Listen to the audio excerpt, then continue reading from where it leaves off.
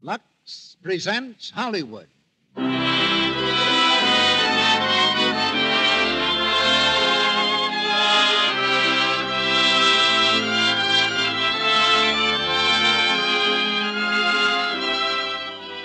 Lux Radio Theater brings you George Brent, Priscilla Lane, and Gail Patrick in Wife, Husband, and Friend. Ladies and gentlemen, your producer, Mr. Cecil B. DeMille.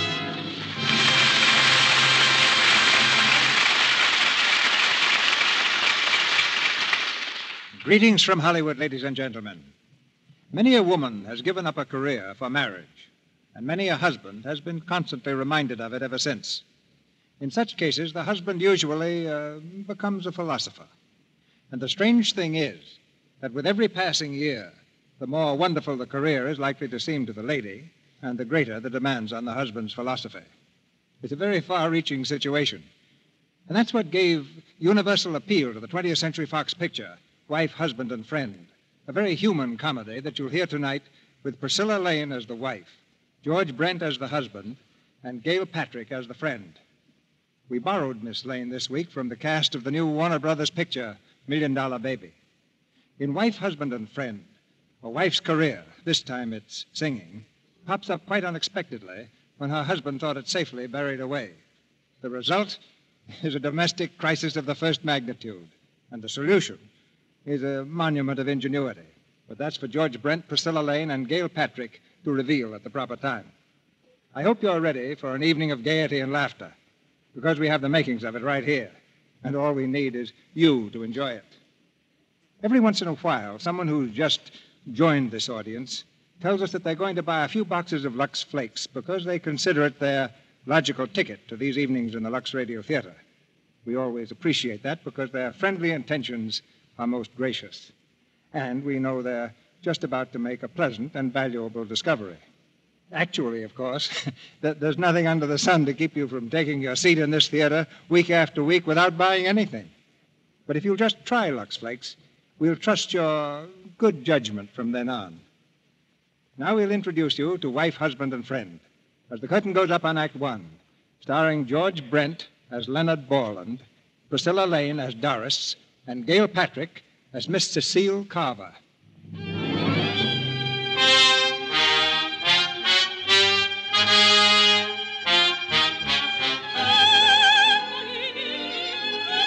On the stage of the New York Opera House, a great soprano is about to die on a high B flat.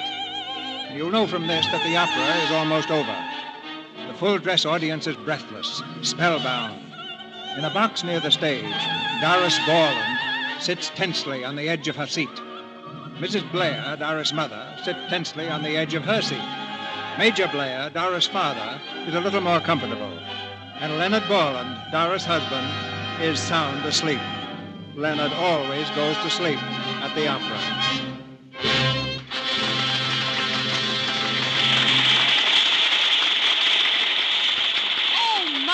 Mother, wasn't she wonderful? Wonderful, wonderful. I can't tell you what it does to me, Mother. Music like that, it's it's like a bubble bursting inside of me. Myself, I generally faint. It seems to have cast its spell on Leonard, too. He's asleep. Again? Leonard.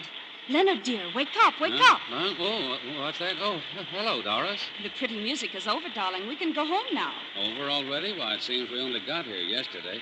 How are you, Major? Evening, my boy. Hello, Mother. Huh. Yeah.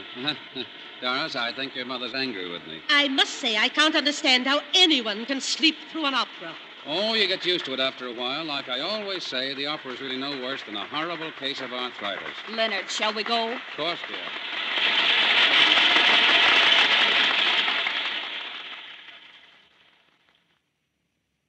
Mother and Dad are coming for dinner tomorrow. Leonard, Yes, dear? I said Mother and Dad are coming for dinner tomorrow night. Oh, fine.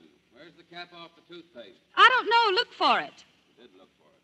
I think you hide them or something. Oh, I'm tired. I don't know why you should be, dear. You slept all evening. No, I didn't. The tenor woke me up with the second act finale, and I had a terrible time getting back to sleep. Darling, do you mind if I tell you something? You're very crude. Really? You have bad manners. You're still just an engineering school halfback. Fullback. And the worst of it is you're proud of it. Well, I guess I'm the outdoor type. You see, You I- don't like opera, you don't like the Playgoers Guild, you don't like any of the arts. Well, I like football. Football. There, you see, I can't understand why you like football, and you can't understand why you like opera. Uh, you forget I used to sing, dear. Oh, no, no, I couldn't forget that, darling. Uh, what do you mean by that? Now, darling, let's not get into an argument. I merely said I used to sing. And I merely said I used to play football, but I don't go around wearing shoulder pads. Now, see here, Leonard. Baby, let's get married. Again? Sure, what does it matter so long as we love each other? Oh, Leonard, what am I going to do with you? Kiss me. Leonard. I love you, Doris. Really? Yeah. Every time I see you, it's the first time, and every time I kiss you, I've never kissed you before. That's why it's so exciting. It's always so new. That's lovely, darling. Where'd you get it? Out of a book, except for the kiss. now, that was my own idea. The book just said it, but I feel it. Which is so much better. Doris, Hmm? I've got a confession to make to you. Confession? It's not an easy thing to say, but the truth is, you're a snob. Why, you, you take that back. Hey, cut that out. Cut it out. Hey, you hurt. I meant to. Darling, if you weren't in the social register, I'd smack you flat on the floor.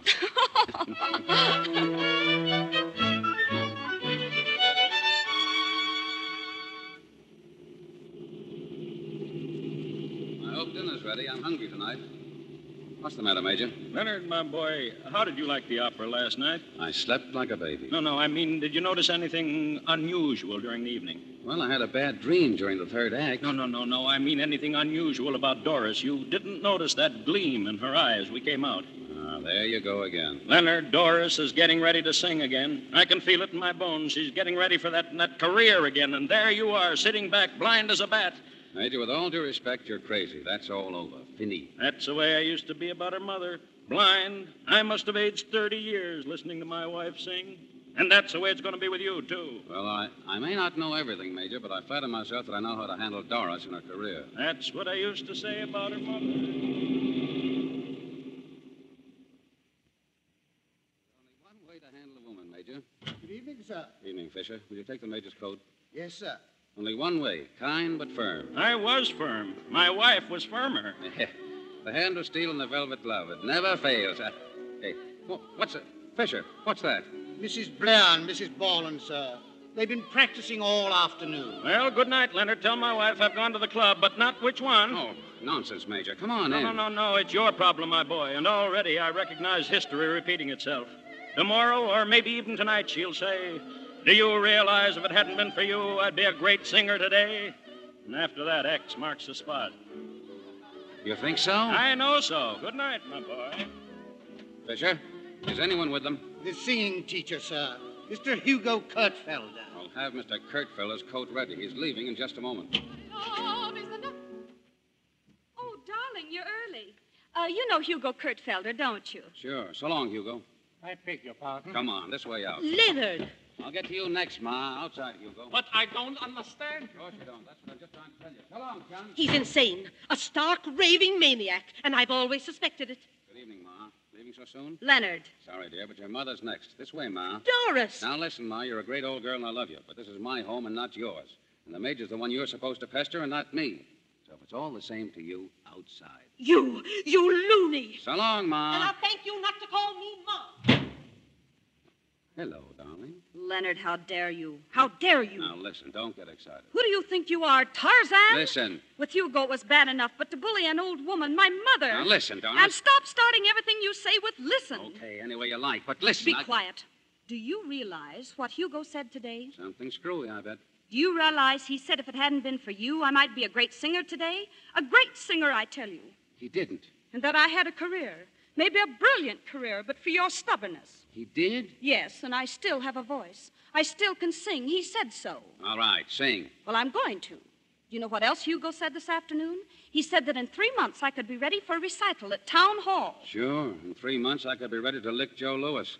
When you say a thing like that, I seriously wonder if you still have good sense. Well, the statement stands. Well, I'm going to do it. Do what? Give a recital. you are over my dead body. But why? Why do you say such a thing? Why do you take such an attitude? Oh, forget it. I'm not going to forget it. Not again. You stopped my career when we were married, and you've stopped it ever since. But now I'm going to know why. Well, I'm telling you, don't ask me. But I am asking you. Okay, if that's the way you want it. Because you're a, lo- Uh, you're a rotten singer. So. So I'm a No, lousy. no, I, I said rotten. You did not. You said Well, lousy. all right, what's the difference? All right, okay, I said it. But what Hugo says, a singer himself, a man who has taught and coached singers for years, what he says means nothing. Well, you asked for it. And may I ask how you, uh, A a, a contractor, without even a child's knowledge of music, may I ask how you know that I'm a I? I don't know it, I, but I know it. I mean, it's instinctive. It's. Uh, And that's all you have to say about it? isn't it enough? No, darling, not nearly enough. And if you don't believe me, read the papers tomorrow morning. Social Register debut. Doris Borland, daughter of Major and Mrs. L. Rodney Blair, will present a program of the lighter operatic arias at the Town Hall the evening of May 14th. Magistrate recital next Tuesday. Well, deadline's approaching, Mike. Brother, you're in a hole. Is that the best you got to offer? I'm your business partner, not a magician. But I got Haggerty to buy 20 tickets. I promised him preferential treatment on the next concrete deal. Why, Mike, that's blackmail. You said it. It's the only way, though. I'm buying up most of the tickets myself and passing them out free. You see, the way I figure it, I can't stand to lose much more than a thousand bucks on the whole show. That makes it dirt cheap. Makes what dirt cheap? Well, for Doris to get it out of her system, of course. That's all she needs. A nice blowout like this just to show me she's got what it takes. That'll wash the whole thing up. I guess you're right at that. Sure, that's why I want to put it over big. Then she'll get it out of her system, and that'll satisfy her forever. I see. Have you told her yet that we lost money on our last four jobs and we haven't got any others? No, what's the use? Plenty use. You could economize a little, couldn't you? Plow under a few of those butlers and maybe rent out a room or two until we get something coming in again? No, so far as Doris knows, we're making money hand over fist. Besides, if I told her the truth, she might want to cook for me. Yeah. Oh.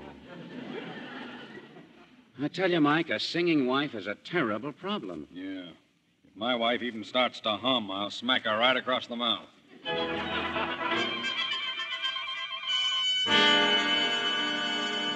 The round tone, full. Watch the breathing, Mrs. Boyland.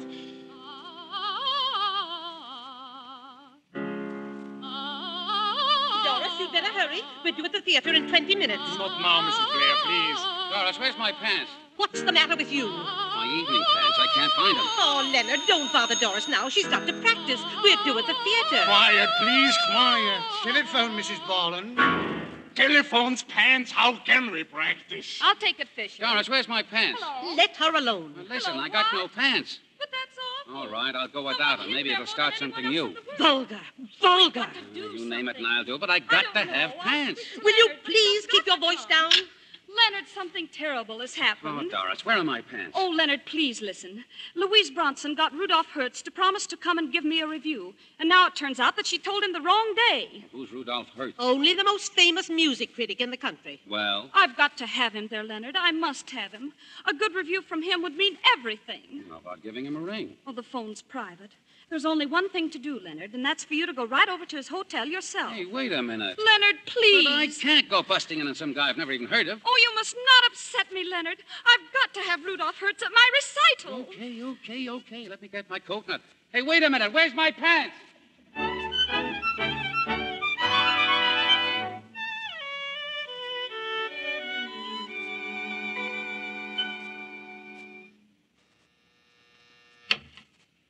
Yes? Oh, excuse me. I, I'd like to see Mr. Hertz, please. Oh, I'm afraid he's not here. I've been waiting for him myself. Oh. Won't you come in, please? Is there anything I can do? Well, uh, you see, my wife, she's a singer. Well, I mean, she thinks she's a singer. a lot of us do. My name is Cecile Carver. Oh, why, you sang at the opera the other night. Were you there? Yes, I was. Did you like it? Uh, well, uh, I was asleep. Oh, not really. I'm sorry. I didn't mean to be rude. Not at all. I enjoy honesty. Won't you sit down? Oh, I can't. You see, my wife's singing at the town hall tonight, and I was supposed to ask Mr. Hertz to come over and listen to her. I hardly think he'll be back in time, but I'll give him your message if I see him. Oh, thanks a lot. Well, I've got to run along. Wait. What did you want? An opinion of your wife's voice? Well, I don't need any opinion.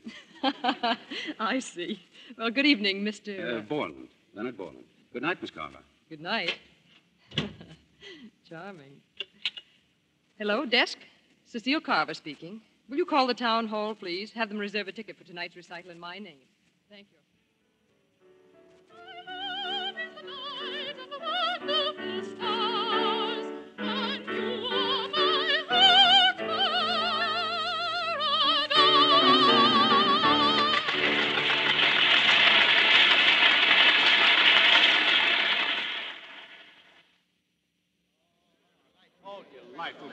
Miss you are marvelous. Oh, thank you, thank you. Outside, everyone. Please, Mrs. Borland must race. Thank you so much. Doris, you were magnificent. Well, Leonard? You win, baby. Give me a kiss. Oh, darling. Oh, honey, you murdered him. Perhaps next time you'll think twice. Oh, you bet I will, Ma. Uh, now, how about us getting away, Doris? Just you and me and having a little celebration of our own, huh? Oh, Leonard, I can't. It's quite out of the question. Hugo's coming back with the agent. With a what? Uh, the agent, dear, the man who arranges the tour. But this, I thought this was all. I mean, I thought this uh, was all you wanted was this. Are you out of your head again? Leonard, you mean that after a, a triumph like this, I should actually give it all up? Oh, but honey, Well, I. don't you see, dear, if I had flopped this evening, but I didn't. The whole house packed. Not only friends and people I knew, but hundreds I never saw or heard of before. The entire theater sold out. Oh, Leonard, even you must appreciate what that means. Yes, I do. You must realize, Leonard, that after tonight, Doris belongs not to you, but to America. Does America want her? Mrs. Borland, pictures. Oh, Doris, pictures. On stage quickly. Oh, Leonard, I've got to go. I'll see you later, darling. Uh, don't wait up for me. Oh, what have I done? Hello? Hello, Mr. Borland? Yes? I thought I'd find you there. This is Cecile Carver. Oh, how are you? I was at the recital, Mr. Borland. Would you still like an opinion of Mrs. Borland's voice? I certainly would. Then why don't you come over to the Dorchester Apartments and see me? Let's say tomorrow at 3? Thanks, I'll be there.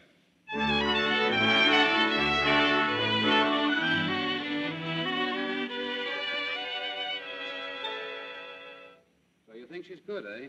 She has a fine voice, a remarkably fine voice. Then you think she ought to go on? With that voice and her looks, certainly.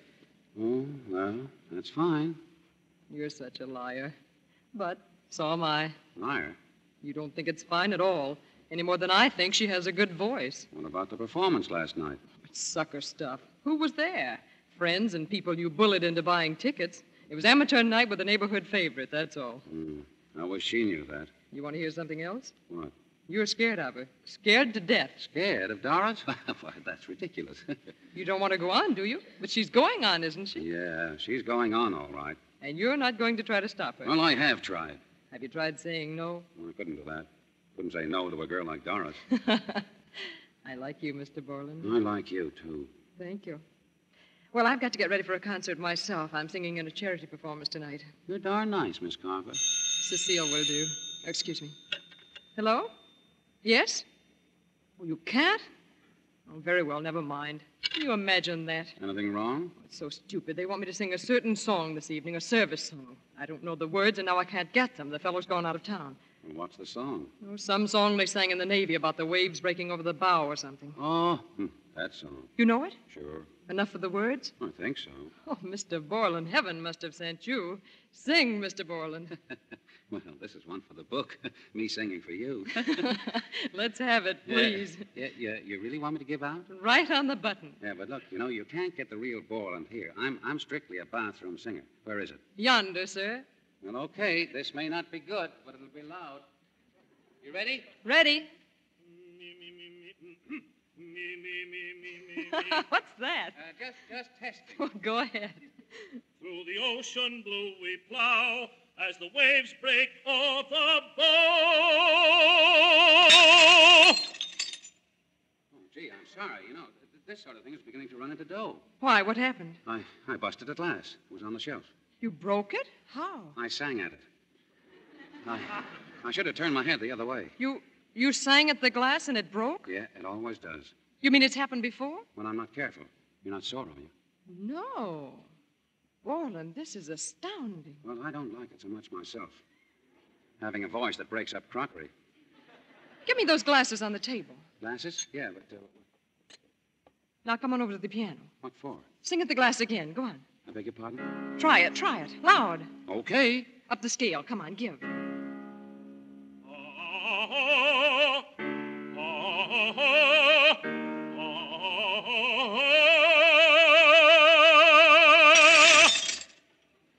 you see, it's a terrible waste of glassware. Borland, I'm almost afraid to say it, but That's a great voice. Would you mind repeating that? It sounded exactly to me as if you said I had a great voice. You have a great voice. Say, listen, why don't you lie down? It's a miracle. I think I'd better get out of here. Oh, no, no, not yet. How would you like me to give you lessons? What? I'm serious, Borland. That's what I'm afraid of. Goodbye. Oh, no, wait. You can't just walk out. You can't. Listen, I've got it. But what? You're the one that's going to sing. You're the one that's going to be a success, not your wife. How would you like to sing on tour? All the big halls. I believe you're really insane. Don't be stupid when I tell you you've got a voice. You've got a voice. I'm Cecile Carver. I know. Yeah, but lady, I'm a contractor, a building contractor. Not to me. To me, you're a singer. A singer with a trumpet in his throat. A trumpet? Think of this Carnegie Hall, the lights, the excitement, the whole house packed to hear you sing. Me? You can do it, I tell you. With that voice, I guarantee it. Uh-huh. Well, all I know is that you're scaring the living daylights out of me, you know. Am I? Then think of this, too. Think of her sitting out front that night, your wife, sitting with everybody else when the house lights go down and the footlights go up, and then the applause as the star walks out on the stage. You. To, uh, to sing? To sing. Who would be the head man then? You or your wife? it's, it's crazy. But, uh, but it is a funny idea. We can do it, Borland. Will you? Sure, sure I will. Why not? Do, do, do, do. Yeah. Did you see that? I just busted the chandelier.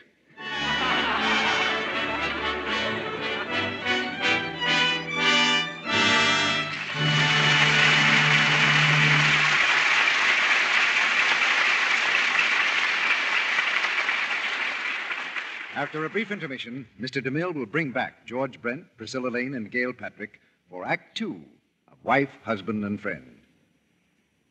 Now, suppose you're driving along the highway some evening, along about dinner time. I'm getting hungry, Jim. Let's stop in the next place and get something to eat. There, there's one. Uh-uh. You don't want to stop there. Uh, that one on the other side there's the one I'd pick. Well, why, Jim? We've never driven out here before. How do you know that one's better? Well, it's simple, honey. There are twice as many cars in front of it. And when twice as many people choose one place, well, you can bet there's a pretty good reason. And that's the way it is with new Quick Lux. Twice as many women choose Lux Flakes for stockings, underthings, pretty dresses, other nice things, too, as choose any other flakes, chips, or beads. And we've got plenty of reasons for doing it, too. Right, Sally. You want to tell us what they are? Mm, well, there are different reasons at different times. For instance? For instance, when you're washing out stockings and undies before you go to bed and, oh, you're sort of sleepy. Well, you don't want to wait for any old slowpoke suds. And then you're glad New Quick Lux is so fast. Any more, for instances? Sure. When you buy a dress or a sweater that you're simply crazy about, and well, you hate to think how you'd feel if it shrank or faded or anything when you washed it, then you're glad Lux Flakes are so gentle. Safe for anything safe in water. And when you see how far a big box of Lux Flakes goes, how many stockings and underthings, dresses, and sweaters you can wash with just one box, then you're pleased as anything to find Lux Flakes are so thrifty.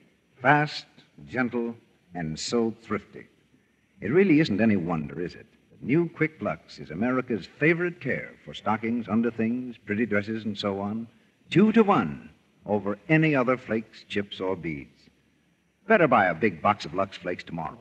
It comes in the same familiar package, doesn't cost you a cent more. And remember, when twice as many people choose one thing as another, there must be plenty of good reasons. Now, our producer, Mr. DeMille. Act Two of Wife, Husband, and Friend, starring George Brent as Leonard, Priscilla Lane as Doris, and Gail Patrick as Cecile Carver.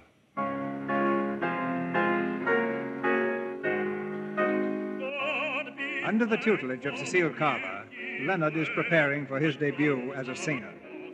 For a month, they've been practicing in secret session, modulating his tremendous voice to keep down the glassware bills.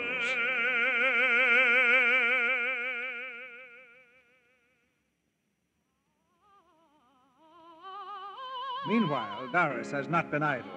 Regularly, for five hours each day, she strains madly at her vocal cords. Glorious, Doris. It rings like a bell. Pear shaped. Pear shaped. Telephone, Mrs. Borland. Who's calling, Fisher? Mr. Murray of the New York Concert Bureau, madam. Give it to me. Uh, yes, Mr. Murray? Yes. Oh. Oh, you can't. I see. Oh, I understand that. Yes, I know. Thank you very much. Well, dear? He said no. No, I cannot understand that. I simply cannot. Um, how about the radio? I understand it's becoming quite respectable. Uh, We tried the radio.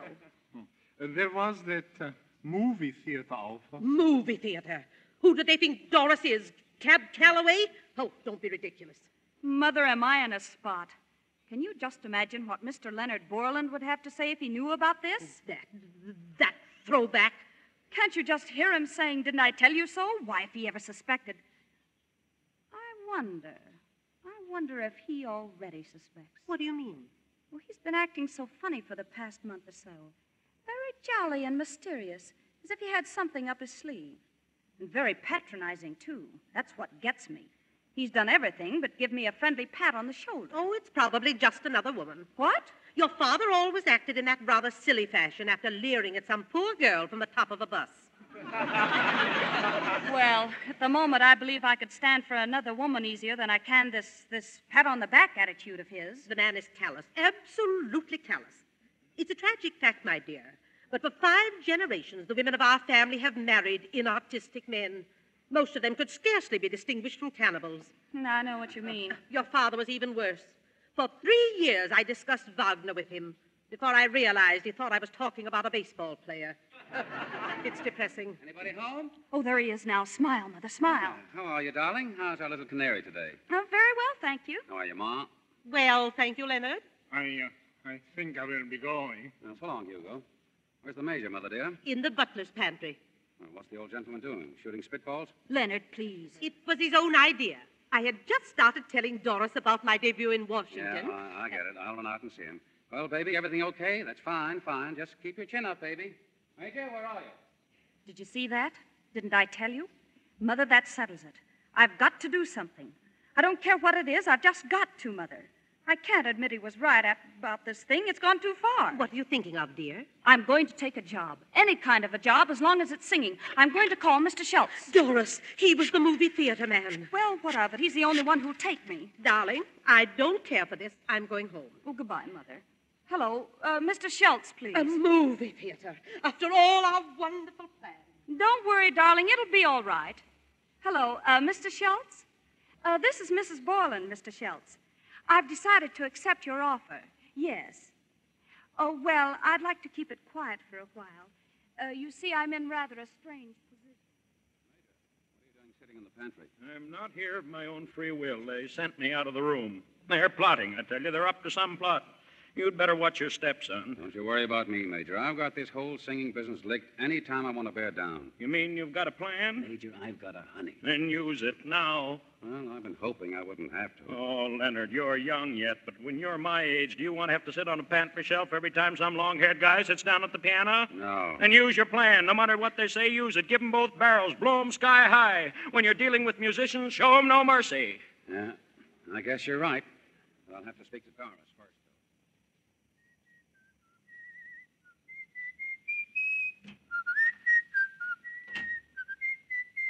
Well, you seem very cheerful, Leonard. Why shouldn't I be? Things been going well at the office? Oh, so, so, so, so. Uh, Doris, I was thinking. Yes, dear? Look, uh, what do you say we pack up and get out of here? You mean leave New York? Yeah, go to Florida, Bermuda. Uh, I mean, we've been under a little strain, business and art and all that sort of thing. Maybe if we went away somewhere together, I mean, well, after all, there's nothing doing around here right away. Nothing I- doing. Oh, darling, it is sweet of you, but it's just out of the question. I know you're not interested, but you see, we're all of us just up to our ears in all these agents and managers. Sign here and sign there. It's just driving us literally crazy trying to decide which offer to take. Oh, yeah? Yes, but I finally got something that really looks good. It's not quite settled, but it's by far the best yet. Okay, okay, forget it. Why, even Hugo was impressed when he heard about it. Of course, it wouldn't mean a great deal to you, I but. said okay, uh, didn't I? Forget it. Why, Leonard.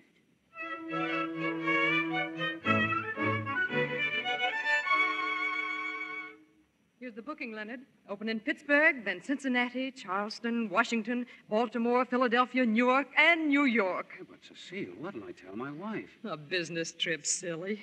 And here's the billing. Miss Cecile Carver in a song recital, assisted by Mr. Logan Bennett. Logan Bennett. If anybody calls me that, I'll sock him.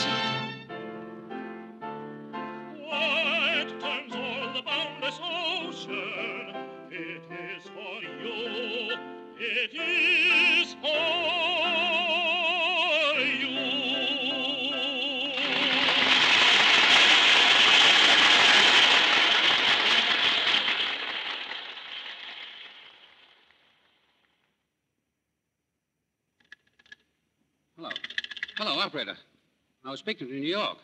Hello? Leonard, Oh, oh, I thought we were cut off, darling. Uh, what were we saying? I said you sound a little tired, Leonard. Uh-huh. Yeah, well, yes, I am. You see, uh... Who's that?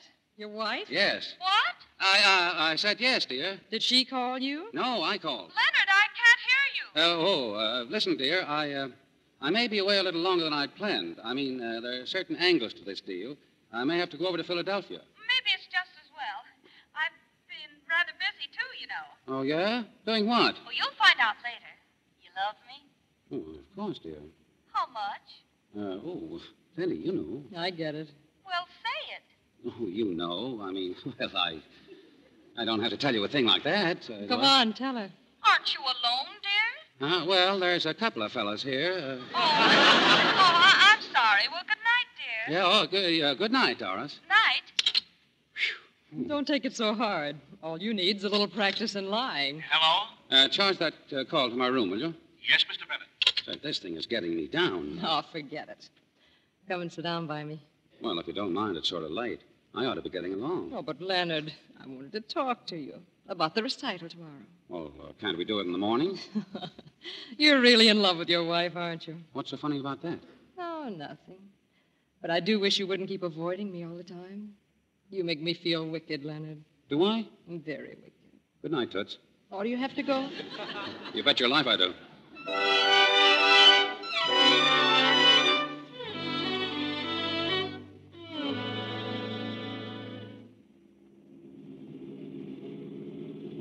New York. Oh, boy. It's great to be back, isn't it? Are you glad to get back to New York or your wife? Both. Mostly my wife. Well, please remember that we're playing over in Newark tonight. I want you to be at the theater at 8 sharp. Don't worry. I'll be right on the dot. I just wanted to remind you.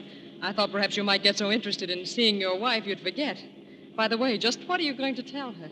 Well, I don't know. Uh, I uh, figure it's too complicated to try and explain all at once. I, I, I think I'll just tell her that, uh, well, I've got to follow up this business deal a little further and. A Uh, very novel story. right over here, driver. Well, there's no use springing it until I'm a real success. How long are you going to be, Leonard? Oh, just a few minutes. All right, I'll wait. Yeah, what? I said I'll wait. But what for?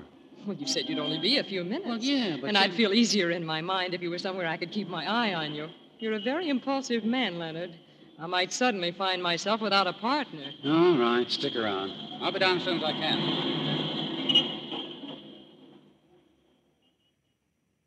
Hello, Fisher. How's everything? Why, Mr. Borland, I, I'm glad you're back, sir. I left my grips downstairs. I've got to beat it again. But, Mr. Borland, you. Uh, where's uh, Mrs. Borland? Is she in? Uh, yes, sir. She's she's with the doctor, sir. The doctor? What's happened?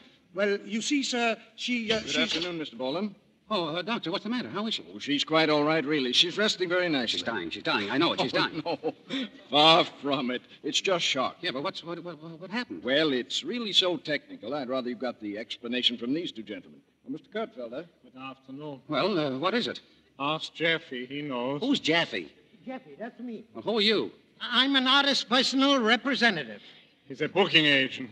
Oh, I see. Go on. Well, I get her a terrific deal, see? A week at the Cathedral Movie Theater at 7.50. So we give her a terrific build-up, see? Social registrite making personal appearance. So we got a terrific house this afternoon. Go on. So they give her the bird. The what? The, the bird. It was terrific. You, you you mean that they booed my wife singing? It was murder. They don't like that society build-up, I guess. And she ain't even through the first chorus, and boom, they give it to her. I beg her not to do it. I beg him not to ask her. She is not ready, and I know it. At seven fifty a week, anybody is ready. Well, I'm I'm sorry, Mr. Jeffy, but I'm going to smack somebody. Hey, hey, let go. Take let it easy. Mr. Baldwin. Stand back. Listen, your wife's been asking for you. Oh, she has? I advise you to go in and see her. Okay, now. Doc, Okay. I'm sorry, Mr. Jeffy. Oh, Doris. Hello, Leonard. Oh, my poor darling. Go ahead. My chin's out. Take a sock at me. Oh, you little dope. Why didn't you tell me? It was going to be a surprise. And what a surprise it was. Anyway, the truth's out at last. What do you mean? I'm no good. Oh, now listen. How can you say that? A Monday matinee in the movie house? Gee. Oh, I guessed it, dear. I wasn't kidding myself much. But I couldn't give in. I just couldn't, after what I'd said. Movie house, opera house, Carnegie Hall, it'd all be the same.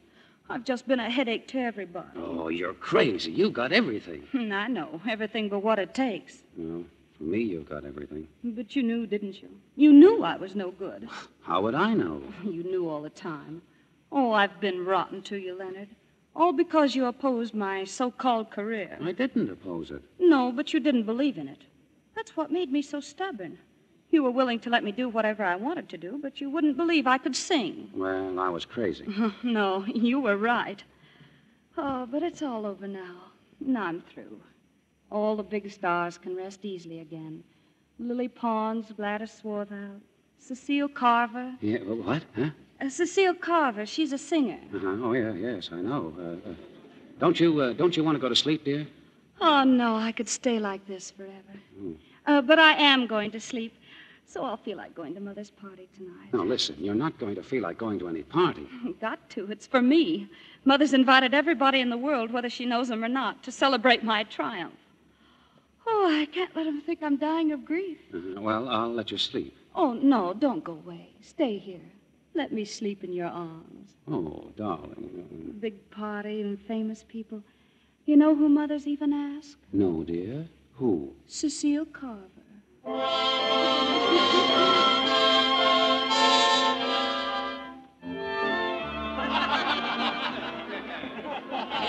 I'm not exaggerating. They booed me. Boo! Doris, dear, this is Cecile Carver. How do you do? Oh, how do you do? Oh, Doris made such a beautiful debut this afternoon, but she's so modest about it. Oh, I'm sorry, Mother, but it's no use. The papers had the story. I shouldn't let it bother me, Mrs. Borland. Doris, uh, don't you think you ought to. Uh, And this is Mr. Borland, Miss Cecile Carver. How do you do, Mr. Borland? yeah, but, uh, how, how do you do? We've met before, haven't we? Yeah, oh, uh, have we? Oh, I'm disappointed. I was so sure you wouldn't forget. Oh, I'm around. I mean, I get around. It's, uh, there's so many, so many people, you know. It's. Uh, Mrs. Borland, was he properly sympathetic about your debut? Why, yes, more than I deserve. He seems very understanding. Come along, my dear. No need wasting time on Leonard. See you later, Mr. Borland. What on earth was she talking about? well, she must be nuts. well, I, uh, I think I'll catch me a quick one. Uh, excuse me, darling.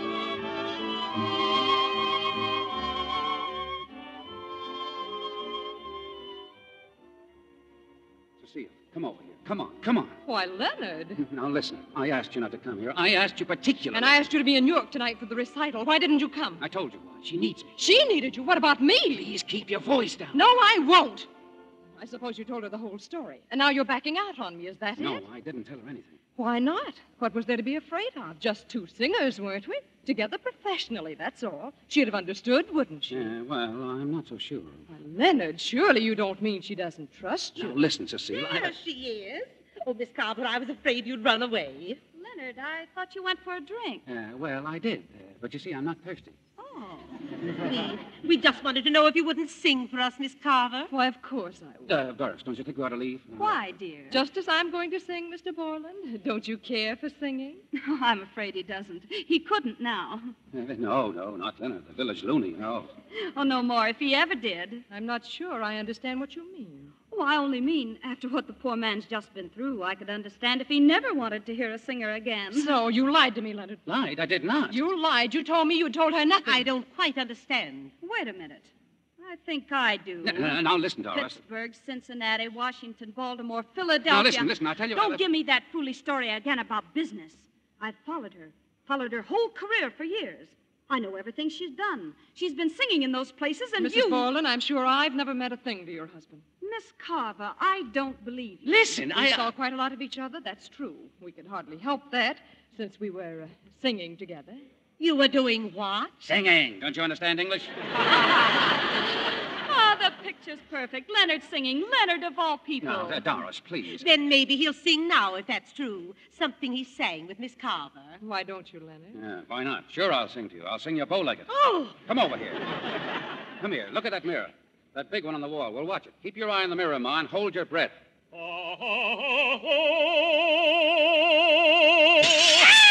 Now, who says I can't sing?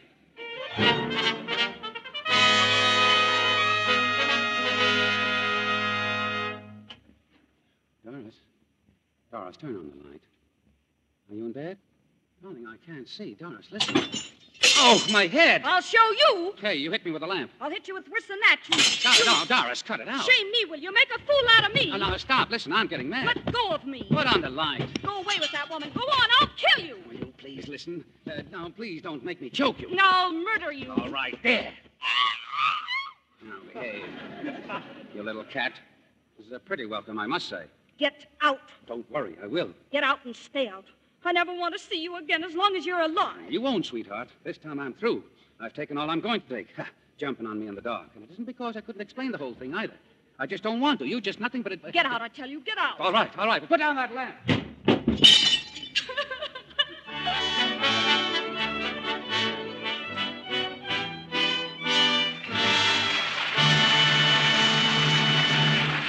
Pause now for station identification. This is the Columbia Broadcasting System.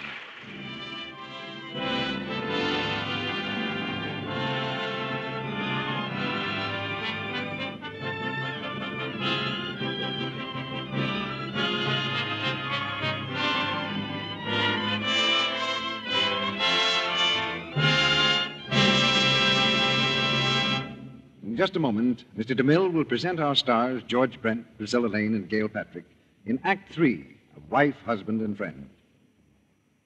Young Mr. and Mrs. Bill Taylor are stepping out tonight, all dressed up and looking very festive. What's this? Something seems to be wrong. Wait a minute, Bill. Let me fix your tie. It's all twisted. Now, Bill, don't stare at my hands like that. It makes you cross eyed. Besides, I can't help the way my hands look. It's washing dishes for you every day that makes them all rough and red like that. Ah, but that's where young Mrs. Bill is wrong. It isn't the dishwashing that's making her hands so rough and unattractive. It's that harsh soap she's using in her dishpan. And that's something she can help very easily. She can change to new Quick Lux because Lux doesn't give hands rough, red dishpan look. We know that's so because hundreds of women have proved it in actual tests. Tests made by a well known scientific laboratory under conditions similar to home dishwashing. And these impartial tests of Lux Flakes against four other popular dishwashing soaps proved new Quick Lux, kindest of all to hands. Proved that with new Quick Lux in the dishpan, hands stay soft and smooth and white, the way you want them to be. Now, if young Mrs. Bill would do that one thing, just switch from harsh soap new Quick Lux for dishes, that little scene you heard a moment ago would probably go like this. Wait a minute, dear. Let me fix your tie. It's all twisted. now, Bill, how do you expect me to fix it when you hold my hands like that? I don't. I'd much rather hold your hands. They're so pretty and soft, darling. I love them.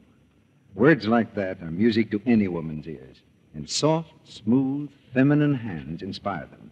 So, don't let a harsh wash day soap give your hands that ugly dishpan look. Change to gentle new Quick Lux. It's fast, thrifty, and it leaves your hands so lovely in spite of dishwashing. Buy the thrifty big box of Lux Flakes tomorrow and start using it for your dishes right away. Now, Mr. DeMille returns to the microphone. Curtain rises on the third act of Wife, Husband, and Friend.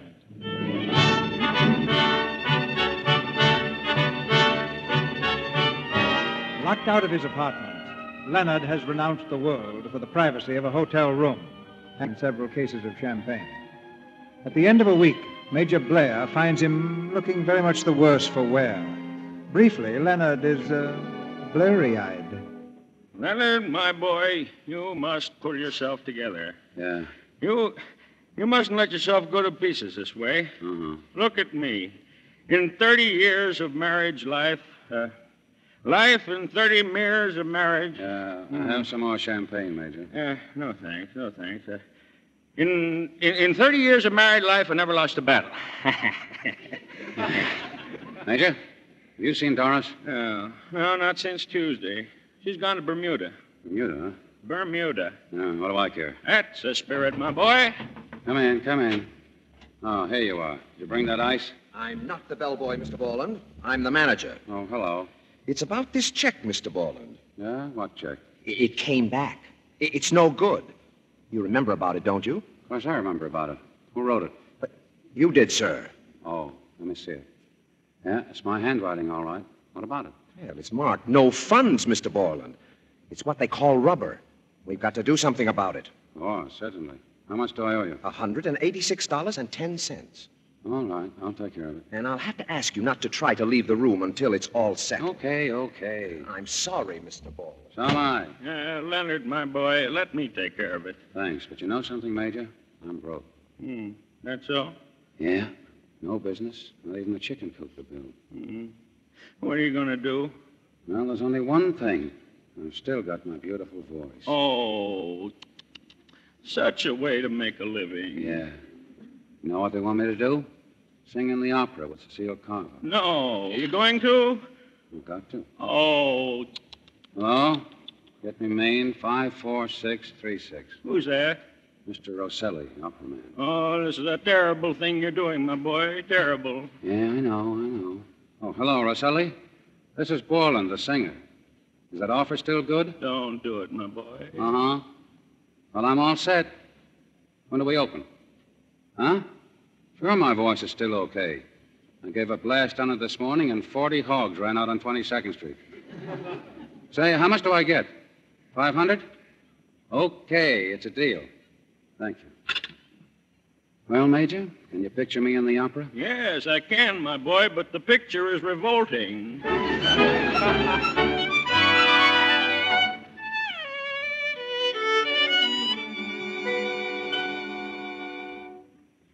Leonard Borland, New York contractor, crashes opera.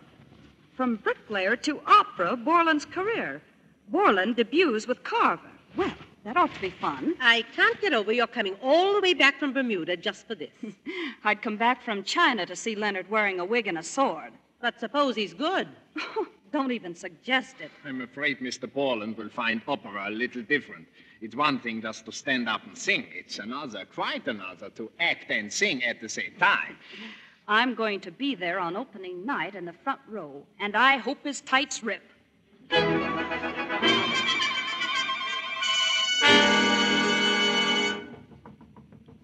Who is it? Come in. Leonard, are you ready? The curtain's in ten minutes. Oh, Cecile, look at this beard. Just, just look at it. Don't pull it. Don't pull it. It's all right. You look fine. Oh, fine. I look like Rasputin. Oh, Cecile, I, I, I don't know about this. What do you mean? Well, I mean, I don't mind getting out on the stage in my own pants and singing, but this, this tights thing, I, I'm scared. Oh, Leonard. Everybody's scared opening night. But remember this you're here because I have faith in you. I believe in you. You understand? Yeah, but all this spinach on my face. You're not going to let me down, are you? This is all so important to me, the most important thing in the world. And you're going to remember that, aren't you? Well, I guess so, but I wish I had pants on. Oh, forget about the pants. Is your voice up? Huh? Has your voice come up? No, not my voice. Well, try it. I, it feels like it's stuck somewhere. Try it again. Oh! What's the matter? I don't know. I think it's the beard. It, it gets in the way or something. Oh, don't be silly. The beard has nothing to do oh, with it. but Cecile. Now, don't worry. When you step out on the stage, it'll be there. What'll be there? Your voice. Oh. Now, remember, make your entrance quickly, come right to my side, and be careful of that tree. You knocked it down twice yesterday at rehearsal. Uh-huh. Well, I'll, I'll watch it. Leonard, look at me. You're going to be all right? You are, aren't you? Oh, yeah. If I only had a pair of pants on.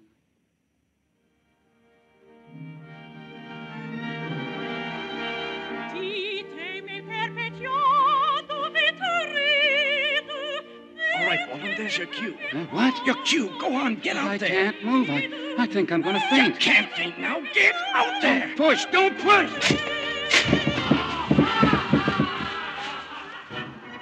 You fool. I told you to look out for that tree. Sing, sing. Oh, oh I can't. You've got to sing. Oh,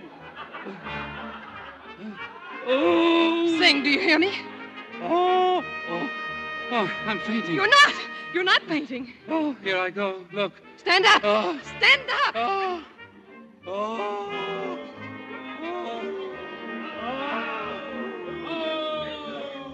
But I tell you, he can't sing a note. Oh, poor Leonard. Sing, darling, sing. He's no good. He's an amateur, making a fool of himself. Shut up. Shut up, you foul little beast. Oh, All All of you. Shut up. Shut up. Saw anything like that. Did you see?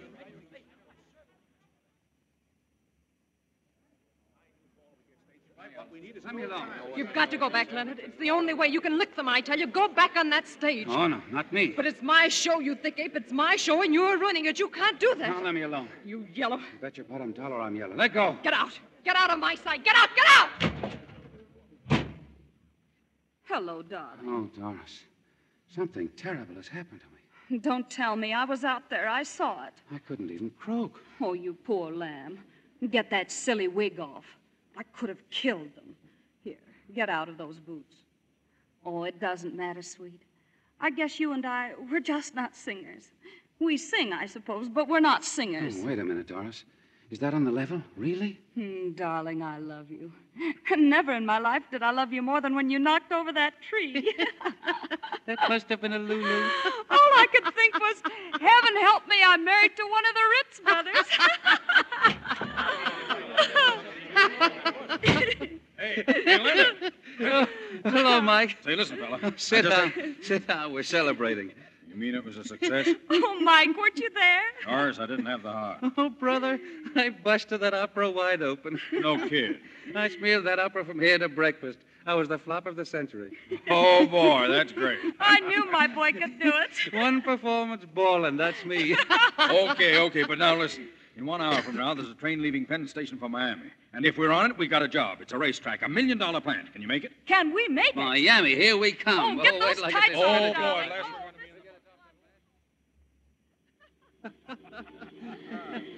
Make it snappy, driver. Okay, Bud, I'm doing my best. Oh, it's perfect. It's perfect. Hey, I had to give my right arm to get a load of you wrestling with that tree. Leonard, you croaked. I couldn't get out a note. I tried so hard, and all that came out was this. It's coming back to me. That window, buddy, will cost you eight bucks.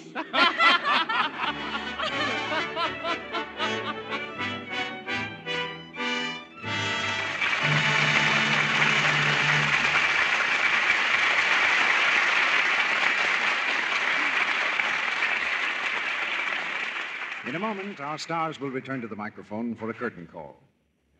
Now, Sally, I have something here I'd like you to read. Hmm, let's see. Fashion note for spring. Most petticoats are now made with a band rather than a yoke, and the full ruffles, which extended up the back to give the effect of a bustle, are not often used. Casings in which steels are run, to be removed when laundried, replace these ruffles. Mr. Ruick, a fashion note for spring?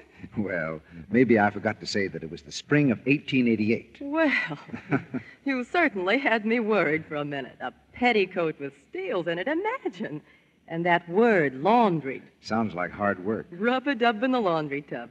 Well, that's gone the way of petticoats with steels in 'em. Mm, no more cake soap rubbing for us now that we have. New Quick Lux Flakes. Yes, today's filmy silk, rayon, and nylon fabrics need gentle care. And New Quick Lux is wonderfully gentle. Safe for everything, safe in water alone. There's no rubbing, no harmful alkali into the colors of fabric. And it's so fast, too, Mr. Ruick. We can freshen lingerie in no time with those lovely, rich Lux suds. They just float away soil and perspiration, leave things fresh as a daisy. It takes no time at all to Lux undies every day. So, along with the vanishing bustles on petticoats, the bustle and hustle of old fashioned wash days has vanished, thanks to New Quick Lux.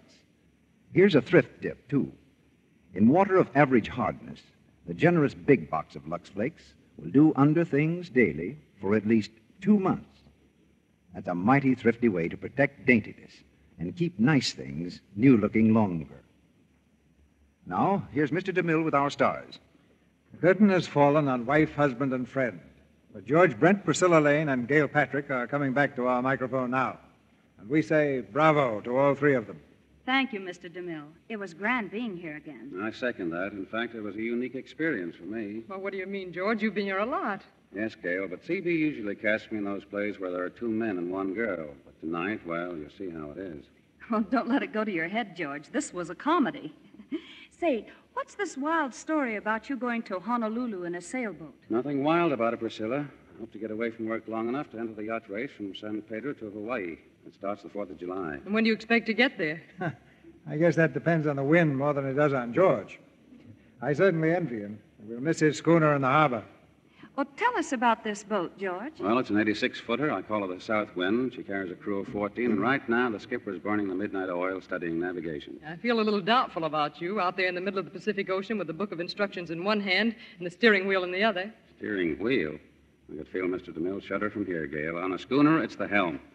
Uh, what about giving me a few lessons someday, CB? Name the day, George. We'll go down to the harbor, and I'll give you a little practice race with my schooner, the Seaward. Fine, I'll take you up on that. And uh, what's the show for next week, CB? Next week, George, the Lux Radio Theater presents an Academy Award winner. The play is Kitty Foyle, and our star is Ginger Rogers.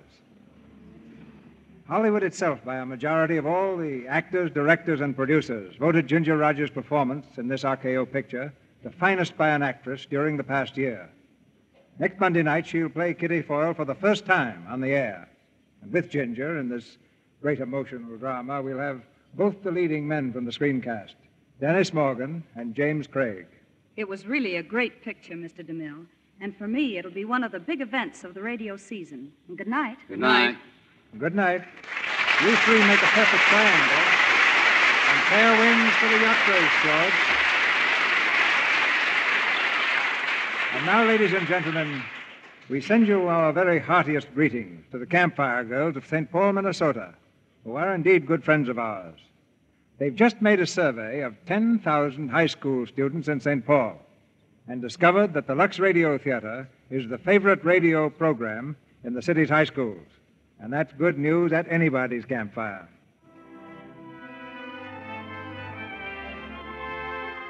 Our sponsors, the makers of Lux Flakes, join me in inviting you to be with us again next Monday night when the Lux Radio Theater presents Ginger Rogers in Kitty Foyle with Dennis Morgan and James Craig. This is Cecil B. DeMille saying good night to you from Hollywood.